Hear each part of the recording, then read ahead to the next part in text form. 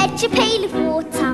So they say their subsequent fall was inevitable. They never stood a chance, they were written that way. Innocent victims of their story. It's told but surely. Sometimes you have to be